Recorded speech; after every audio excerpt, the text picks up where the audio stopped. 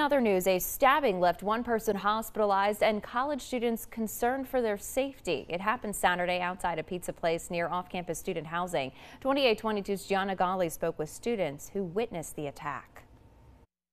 University of Scranton students sat outside CK's Pizza Sunday night. One night after somebody was stabbed near the business. And then we see people screaming, we see people running in different directions and within probably two or three minutes, we see a bunch of cop cars. Ansbro and her roommates live off campus on Webster Avenue, right across the street from where the stabbing took place. Before, they thought things were getting better in their neighborhood. Maybe we kind of thought we were on the the edge of it and we were kind of removed from it and it turns out that we're not as far away from it as we thought we were. Along with CK's Pizza, there are other popular pizza shops on Mulberry Street that college students visit daily like Goodfellas Pizza and Scranton Pizzeria. The kids are scared.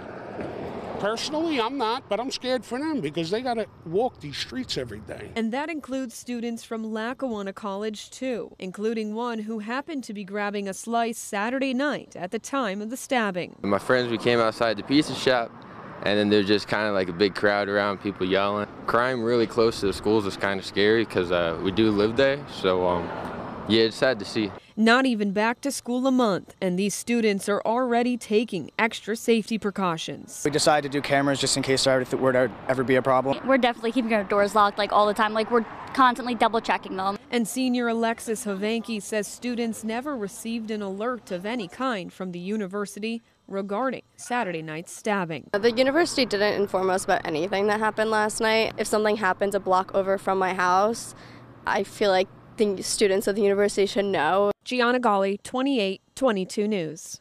And the University of Scranton and Lackawanna College have not commented about the stabbing. There's no word on the victim's condition or if any suspects are in custody.